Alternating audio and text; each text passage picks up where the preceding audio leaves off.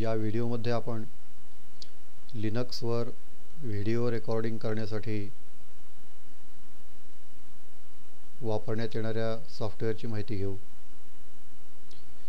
जसे तुम्हाला माहीत की लिनक्सवर बहुतांशी हे विनामूल्य उपलब्ध केले जाते आणि कुठल्याही गोष्टीसाठी तुम्हाला वेगळे सॉफ्टवेअर विकत घेण्याची गरज नसते. फक्त तुम्हाला हे माहिती असणे आवश्यक आहे की कुठल्या गरजेसाठी कोणते सॉफ्टवेअर वापरले जाते. तर या व्हिडिओमध्ये मी आज आपल्याला वेबकॅमचा वापर करून लिनक्सवर व्हिडिओ रेकॉर्डिंग कशी करता येईल याची माहिती या त्यासाठी उपलब्ध असलेल्या अनेक सॉफ्टवेअरपैकी काही सॉफ्टवेअरविषयी मी माहिती देईन. मी लिनक्समध्ये उबुंटू लिनक्स हे डिस्ट्रीब्युशन वापरत आहे. आणि मी जे ज्या सॉफ्टवेअरविषयी सांगणार आहे ते सॉफ्टवेअर लिनक्सच्या कुठल्याही प्रकारावर चालू शकते. तर पहिल्यांदा आपण ॲप्लिकेशन्सवर क्लिक करू आणि त्यानंतर साऊंड अँड व्हिडिओ तर यामध्ये या सॉफ्टवेअरचं नाव आहे G U V C V I W अर्थात ही नावे तुम्हाला फारशी आकर्षक वाटली ना नाही नाही तरी. ही फारच उत्कृष्टरित्या बनवले गेलेले सॉफ्टवेअर्स आहेत. तर या सॉफ्टवेअरचं नाव आहे G U V C view मी थोडंसं याला वाढवून दाखवण्याचा प्रयत्न करेन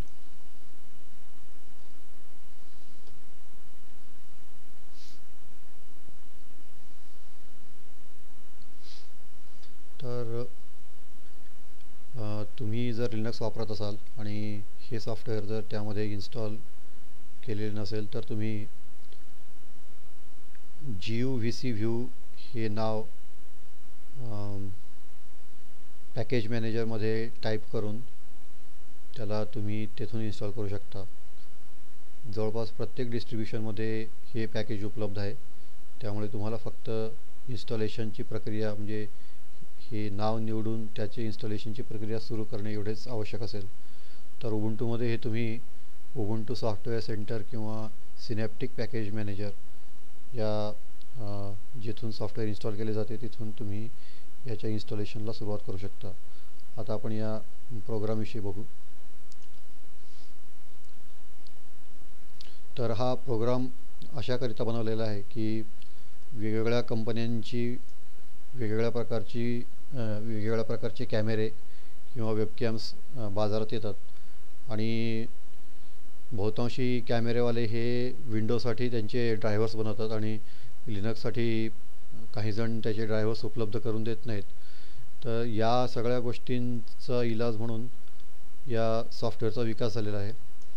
आणि याचं काम मुळात हे आहे की जवळपास कुठल्याही प्रकारच्या वेबकॅमला म्हणजे लिनक्ससाठी जरी वेगळं सॉफ्टवेअर कंपनीनं उपलब्ध केलेलं नसलं तरीही त्याला चालू करणे आणि त्याचा वापर व्यवस्थित करता येणे हे यासाठी हे सॉफ्टवेअर बनवलं गेलं आहे. तर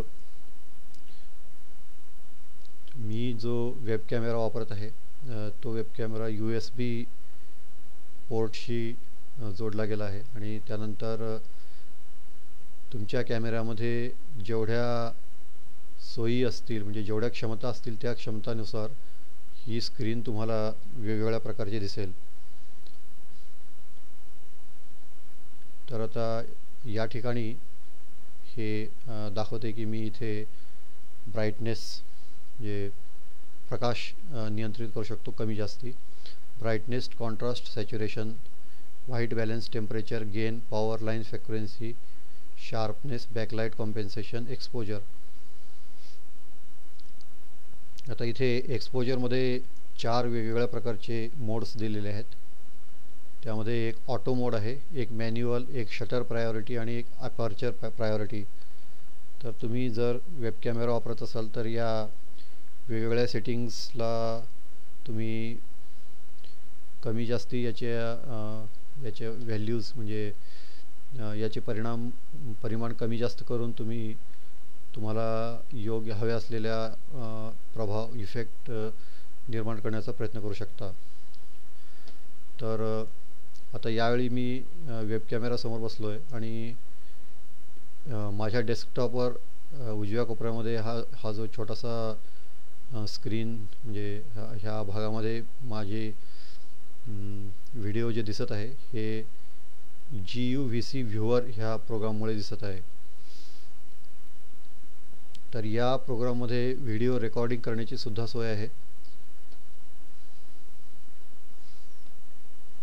आपण थोडंसं याला जवळून पाहू. कॅप्चर इमेज नावाचं जे पहिलं बटन आहे याचा उपयोग करून तुम्ही चलचि स्थिर म्हणजे फोटो काढू शकतो त्याचा. त्याच्यानंतर कॅप्चर व्हिडिओ बटन आहे व्हिडिओ रेकॉर्डिंग सुरू करण्यासाठी. आणि केलेले रेकॉर्डिंग हे सेव्ह करणे आणि मग त्याला परत उघडणे. तर तुम्ही याचा जर वापर करत असाल तर ज्या काही दैनंदिन वापरातल्या ज्या आवश्यक गोष्टी आहेत त्याबद्दल मी थोडीशी माहिती देण्याचा प्रयत्न करीन. हे जे वरच्या बाजूला मोठं मधल्या बाजूला एक जे टॅब आहे व्हिडिओ अँड फाईल्स याच्यावर जर तुम्ही क्लिक कराल तर तुम्हाला अजून काही वेगवेगळ्या प्रकारची सेटिंग्स दिसतील. त्यापैकी पहिलं सेटिंग डिव्हाइस आहे जे तुमचा जो कॅमेरा आहे त्याला ओळखून हे त्याचं नाव इथे दाखवेल. त्याच्यानंतर फ्रेम रेट तर इथे पाच फ्रेम्स पर सेकंड ते तीस फ्रेम्स पर सेकंड हे या प्रकाराने ते फ्रेम रेट तुम्ही इथं ठरवू शकता. तर तुमच्या गरजेप्रमाणे तुम्ही फ्रेम रेट कमी जास्ती करू शकता. आणि त्याच्यानंतर रिझॉल्युशन आहे. प्र तुमच्या कॅमेरामध्ये जेवढ्या प्रकारचे रिझॉल्युशन्स उपलब्ध असतील त्याप्रमाणे इथे ते रिझॉल्युशनची यादी दाखवेल. या ठिकाणी माझ्या वेबकॅमध्ये इथं दिसून येते की एकशे साठ बाय एकशे वीस ते सहाशे चाळीस बाय चारशे ऐंशीपर्यंत रिझॉल्युशन इथं उपलब्ध आहे.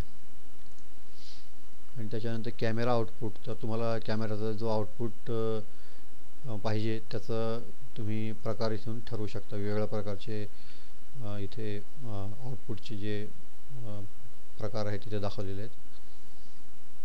जरी तुम्हाला यातलं काही फारसं माहीत नसलं तरी तुम्ही याचे जे परिमाण आहेत ते बदलून त्याचा प्रभाव तुम्ही ताबडतोब पाहू शकता. त्याच्यानंतर इमेज फाईल तर इमेज फाईल म्हणजे जेव्हा तुम्ही वेब कॅमेऱ्याचा वापर करून फोटो काढाल तर तो फोटो हा या नावाने साठवला जातो. तर इमेज फॉर्मॅटमध्ये म्हणजे फोटोचा प्रकार जो आहे त्यामध्ये जे पेग आहे J P G B M P P N G आणि रॉ हे चार प्रकारचे फोटो चे प्रकार आहेत. तर त्यापैकी कुठलाही तुम्ही तुमच्या आवश्यकतेनुसार किंवा तुमच्या आवडीनुसार इमेज फॉर्मॅट जर निवडलात तर त्या नावाने तुमच्या हार्ड डिस्कवर तो फोटो आपोआप सेव्ह होतो. तर इथे एक नाव दिलेलं आहे image dot P N G P N G जर फोटोचा मी प्रकार निवडला तर image dot P N G या नावाने तुम्ही काढलेल्या फोटोची फाईल तुम्हाला तुमच्या होम फोल्डरमध्ये तर होम फोल्डर म्हणजे आता तुम्ही लिनक्स इन्स्टॉल केल्यानंतर जे तुमचं युजर नेम असेल तर तुमच्या युजर नेमच्या नाव म्हणजे तुमच्या नावाखाली एक फोल्डर तयार होतो. तर त्याला तुमचं होम फोल्डर म्हटलं जाते. तर त्या होम फोल्डरमध्ये इमेज या नावाने हा फोटो साठवला जातो. तर तर आपोआप या नावाने फोटो तिथं साठवला जातो. तर फोटो काढल्यानंतर तुम्ही होम फोल्डरमध्ये जाऊन त्याला ओपन करू शकता. आणि परत दुसरा फोटो काढायचा असेल तर या फोटोला रिनेम करावे लागेल तुम्हाला. याचं नाव बदलावं लागेल की जर नाव बदललं नाही तर मग मूळ फोटो हा काढून टाकला जाऊन त्या जागी दुसरा फोटो तिथे साठवण्यात येईल. तर त्याचप्रमाणे जर तुम्ही व्हिडिओ रेकॉर्डिंगला सुरू केली तर याच फोल्डरमध्ये कॅप्चर या नावाने तो व्हिडिओ इथे साठवला जातो. तर व्हिडिओ रेकॉर्डिंगमध्ये सुद्धा तुमच्यासाठी इथं वेगवेगळ्या प्रकारचे फॉर्मॅट्स उपलब्ध आहेत. तर व्हिडिओ फॉर्मॅटमध्ये व्हिडिओ कोडेक तुम्हाला सुरुवातीला निवडावा लागेल. तर इथे बऱ्याच म्हणजे जे म महत्त्वपूर्ण कोडेक्स आहेत त्यांची इथे माहिती आहे. जी त्याची इथं तुम्हाला निवड सम दिलेली आहे. त्याच्यामध्ये M JPEG Y U Y two R G B MPEG video one F L V flash video view यूट्यूबवर जे व्हिडिओ अपलोड uh, केले जातात तर त्याच्यामध्ये हा प्रकार uh, जास्त लोकप्रिय आहे F L E F L V आणि त्याच्यानंतर काहीजण windows media W M V वनवर सुद्धा तुम्ही यूट्यूबवर अपलोड करू शकता. त्याचबरोबर एम पेग टू आहे.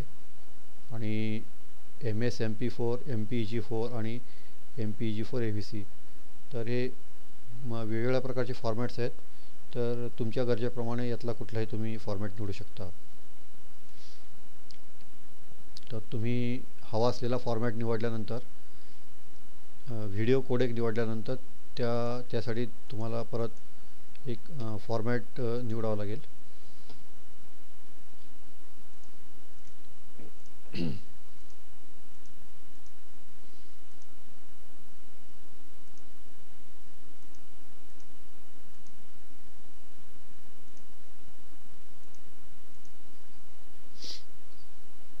अच्छा तर पहिल्यांदा तुम्ही व्हिडिओ कोडेक निवडू शकता आणि त्याच्यानंतर व्हिडिओ फॉर्मॅट तर फॉर्मॅटमध्ये दोन फॉर्मॅट्स उपलब्ध आहेत ए व्ही आय आणि एम के व्ही तर याला व्हिडिओ कंटेनर्स म्हणतात. म्हणजे अगदी पहिल्यांदा जेव्हा व्हिडिओ रेकॉर्डिंग केलं जाते तर त्यावेळेला लॉसलेस रेकॉर्डिंग होते. म्हणजे जास्तीत जास्त हाय क्वालिटीमध्ये त्याचं रेकॉर्डिंग करून त्याला हार्ड डिस्कवर साठवलं जाते.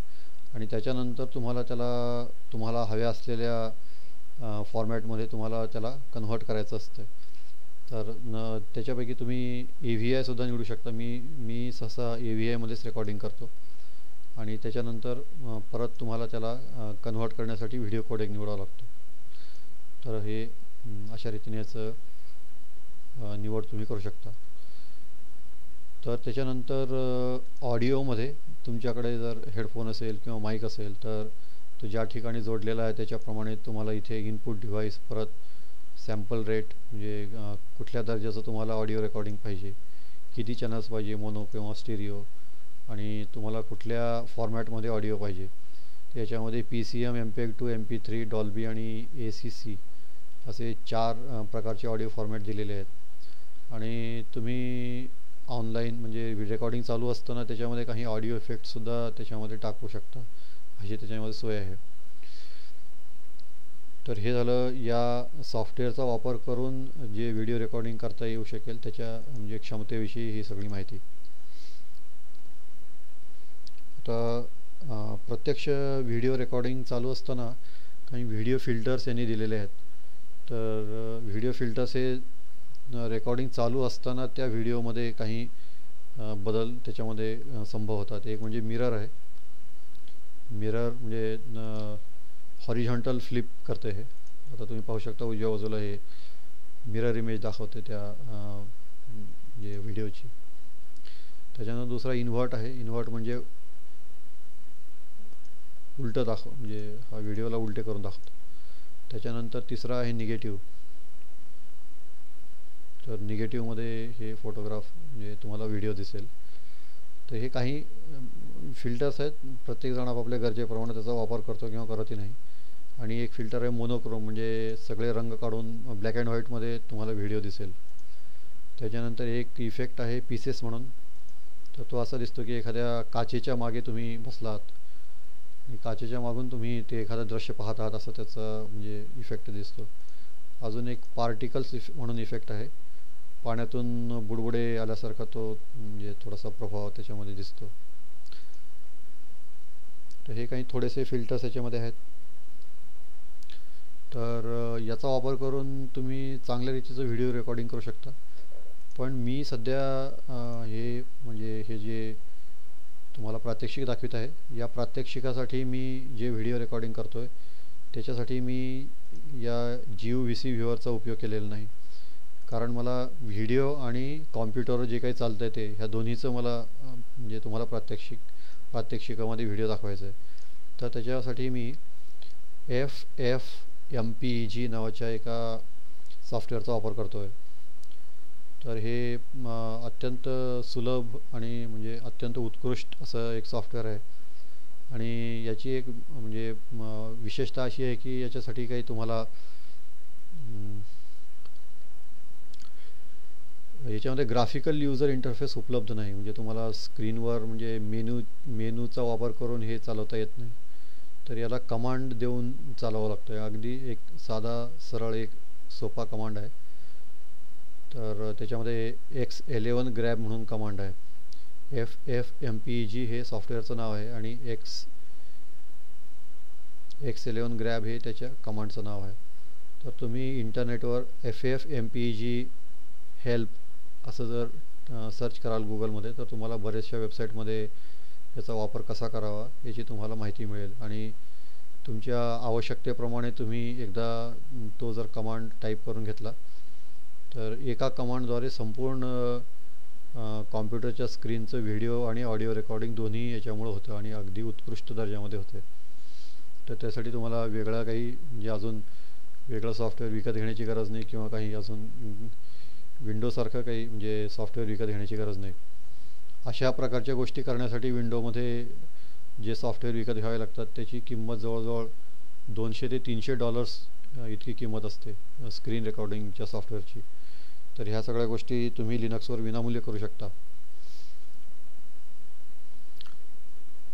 आणि मी एफ एफ एम पी एकमध्ये जे रेकॉर्डिंग करतो आहे तर त्या रेकॉर्डिंगमध्ये मी ए व्ही आय या फॉर्मॅटमध्ये रेकॉर्डिंग केलेली फाईल मी साठवतो आहे आणि त्याच्यानंतर एफ एफ एम पेग हे एका व्हिडिओ फॉर्मॅटमधून दुसऱ्या व्हिडिओ फॉर्मॅटमध्ये कन्व्हर्टसुद्धा करू शकते आणि कन्व्हर्ट मी ए व्ही आयपासून एफ एल व्हीमध्ये कन्व्हर्ट करतो एफ एल व्ही म्हणजे यूट्यूबवर अपलोड करण्यासाठी.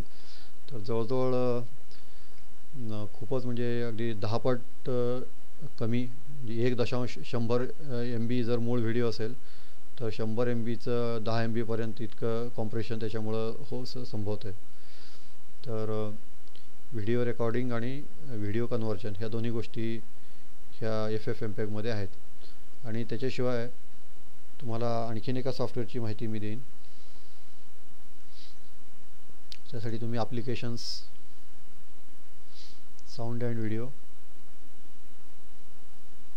तर या ठिकाणी केडेन लाईव्ह म्हणून एक सॉफ्टवेअर आहे. आता अर्थात हे लिनक्सबरोबर आपोआप काही इन्स्टॉल होत नाही.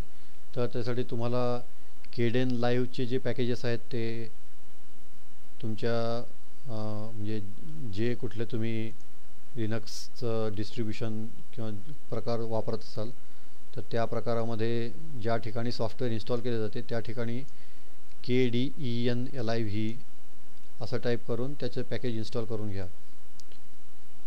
तर केडेन लाईव्ह हे सॉफ्टवेअर जे आहे तर रेकॉर्ड केलेल्या व्हिडिओमध्ये जर तुम्हाला काही काटछाट करायची असेल व्हिडिओचा काही भाग जर काढून टाकायचा असेल किंवा त्या व्हिडिओमध्ये काही ट्रान्झिशन इफेक्ट्स टाकायचे असतील किंवा त्या व्हिडिओमध्ये वेगवेगळ्या प्रकारचे क्लिप्स जर जोडायचे असतील तर ह्या सगळ्या गोष्टी तुम्ही याच्यामध्ये करू शकता. लिनक्समध्ये बऱ्याच दिवसापासून किंवा बऱ्याच वर्षापासून अशा एखाद्या भरोशाच्या सॉफ्टवेअरची कमतरता होती.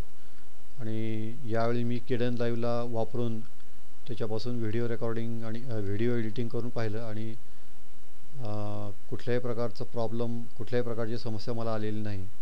तुम्ही अगदी चांगल्या रीतीनं त्याच्यामध्ये वेगवेगळ्या प्रकारचे ट्रॅक्स मिक्स करू शकता व्हिडिओ आणि ऑडिओ एडिटिंग करू शकता. आणि त्याच्यानंतर व्हिडिओ एडिटिंग पूर्ण झाल्यानंतर तुम्हाला हव्या त्या फॉर्मॅटमध्ये त्याला कन्व्हर्टसुद्धा करण्याची सोय याच्यामध्ये आहे. तर हे सुद्धा अगदी विंडोजमध्ये तुम्हाला अशा प्रकारच्या गोष्टी जर करायच्या असतील तर अगदी हजारो डॉलर्सचं तुम्हाला सॉफ्टवेअर विकत घ्यावं लागतं. किंवा मग पायरेटेड सॉफ्टवेअर वापरून तुम्हाला ह्या सगळ्या गोष्टी कराव्या लागत असतील. तर लिनक्समध्ये तुम्ही हे अगदी विनामूल्य करू शकता. त्या सॉफ्टवेअरचं नाव आहे K D E N L I V Kdenlive थोडंसं मी जवळून दाखविण्याचं नाव तुम्हाला. K D E N L I V तर लिनक्सच्या सॉफ्टवेअर पॅकेजेसमध्ये आता ते सुद्धा मी तुम्हाला एकदा अजून एकदा दाखवीन. ॲप्लिकेशन्सवर क्लिक करा. आणि त्याच्यानंतर applications Ubuntu software centre Ubuntu Linux जर तुम्ही वापरत असाल तर उबुंटू सॉफ्टवेअर सेंटर तुम्ही जर उघडाल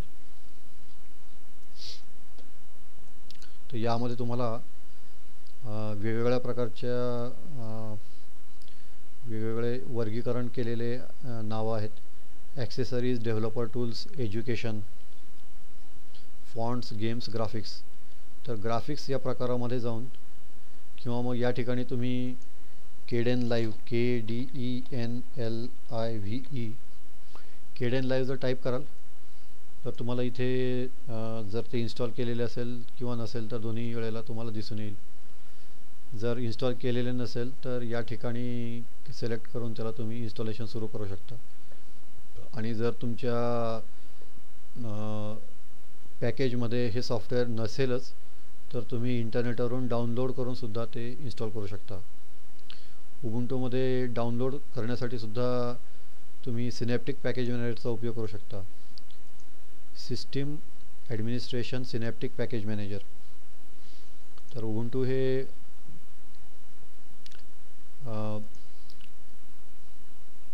ग्राफिकल युजर इंटरफेस किंवा विंडोज वापरणाऱ्या लोकांना लिनक्स वापरणे सोपं जावं याच्यासाठी त्या प्रकारानं अगदी म्हणजे सगळ्या गोष्टी सुलभ करून ठेवल्या आहेत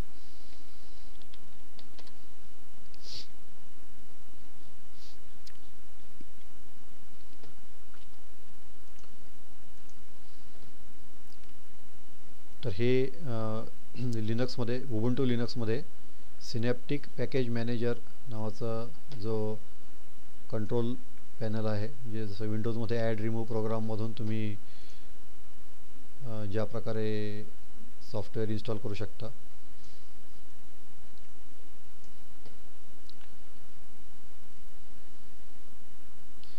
अगदी त्याचप्रमाणे इथून तुम्ही कुठले सॉफ्टवेअर इन्स्टॉल करू शकता.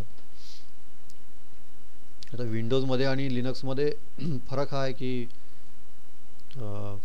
विंडोजमध्ये सॉफ्टवेअर आपोआप डाउनलोड करण्याची सोय नाही. त्या त्यासाठी तुम्हाला त्या सॉफ्टवेअरच्या वेबसाईटवर जाऊन ते सॉफ्टवेअर डाउनलोड करावं लागतं. तर सिनेप्टिक पॅकेज पॅकेज मॅनेजरमध्ये सॉफ्टवेअर डाउनलोडसुद्धा ऑटोमॅटिक करण्याची सोय आहे. फक्त तुम्हाला त्या सॉफ्टवेअरचं नाव माहीत असलं पाहिजे. तर तुम्ही जर उबंटू वापरत असाल तर या ठिकाणी जाऊन क्विक सर्च हे जे असं लिहिलेलं आहे त्या ठिकाणी K D E N L I V एवढं जर टाईप कराल तर तुम्हाला इथे पॅकेजेसची नावे दिसून येतील. तर हिरवा रंग जर असेल त्या पॅकेजच्या नावासमोर तर ते इन्स्टॉल केलेलं आहे. जर नसेल तर पांढरा रंग असेल. तर केडेन लाईव्ह जर तुमच्या कॉम्प्युटरवर हे नाव आहे आणि त्याच्यासमोर जर पांढऱ्या रंगाचा बॉक्स असेल तर त्याला तुम्ही असे सिलेक्ट करा. सिलेक्ट करून मार्क फॉर इन्स्टॉलेशन हे असं सिलेक्ट करायचं. आणि मार्क फॉर इन्स्टॉलेशन केल्यानंतर अप्लाय बटन दिसेल तुम्हाला हे अप्लाय बटन दाबायचं. आणि त्याच्यानंतर त्या सॉफ्टवेअरला आपोआप डाउनलोड करून त्याच्यानंतर इन्स्टॉलेशनला सुरुवात होईल. म्हणजे तुम्ही फक्त तुम्हाला काय पाहिजे त्याचं नाव याला सांगायचं या म्हणजे सिनॅप्टिक पॅकेज मॅनेजरला तर ते सॉफ्टवेअर डाउनलोड करून ते इन्स्टॉल करून देईल तुम्हाला. आणि ते सगळं विनामूल्य. तर हे अशा प्रकारे उबुंटू लिनक्स चा विकास झालेला आहे. तर आज आपण व्हिडिओ रेकॉर्डिंगसाठी आणि व्हिडिओ एडिटिंगसाठी वापरल्या जाणाऱ्या दोन सॉफ्टवेअर्सची माहिती घेतली. तर अशाच आणखीन इतरही वेगवेगळ्या कामासाठी लागणाऱ्या सॉफ्टवेअरची माहिती मी वेगवेगळ्या व्हिडिओमधून देण्याचा प्रयत्न करीन. तर आज आपण इथंच थांबू. आपला वेळ दिल्याबद्दल धन्यवाद.